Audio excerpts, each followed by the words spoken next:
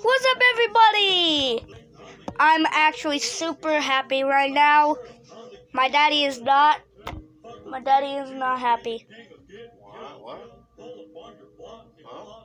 Because I did one year of videos.